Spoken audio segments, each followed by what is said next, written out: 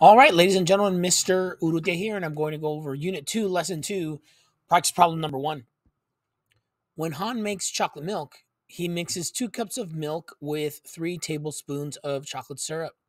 Here is a table that shows how to make different batches of different sizes. And here we have the table, and then here we have use the information in the table to complete the statements. Some terms are used more than once. And here are the terms that we're going to use. We're going to use tablespoons of chocolate syrup, the number four, cups of milk, cup of milk, and three halves. Part A The table shows a proportional relationship between blank and blank.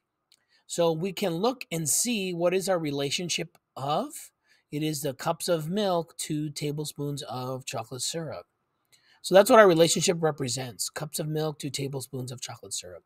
We're not talking about the numbers here, we're talking about the things that these numbers represent. That's very important here when you're looking at proportional relationships.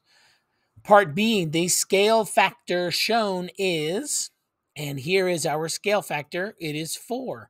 Notice here how you're multiplying both the cups of milk and tablespoons of chocolate syrup by four. That is the scale factor. Part C, the constant of proportionality for this relationship is, and we can see it in lots of different rows, but we're going to look right here in this row right here for one.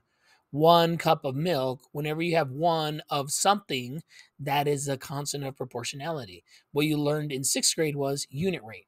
The unit rate is a constant of proportionality. So here it is 3 over 2, 3 halves. You can also get that by doing 3 divided by 2 in this top row, 12 divided by 8 in this row, 15 divided by 10. All of those are going to give you 3 over 2. Uh, part D, the units for the constant of proportionality are blank per blank.